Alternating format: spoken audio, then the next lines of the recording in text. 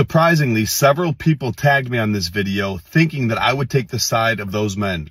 That shows me that they don't really listen to my message because as I always say, there is nothing wrong with filming in a gym that allows it as long as you do so responsibly with respect for other people.